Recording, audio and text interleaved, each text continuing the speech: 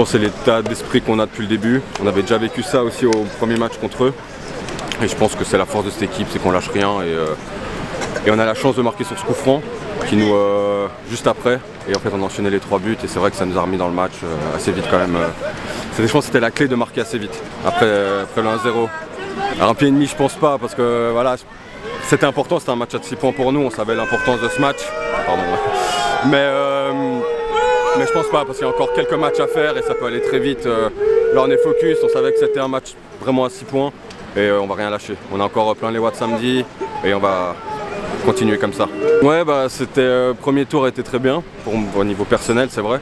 Après deuxième tour j'ai eu un peu de mal au début, un petit peu, euh, un peu physique et tout ça.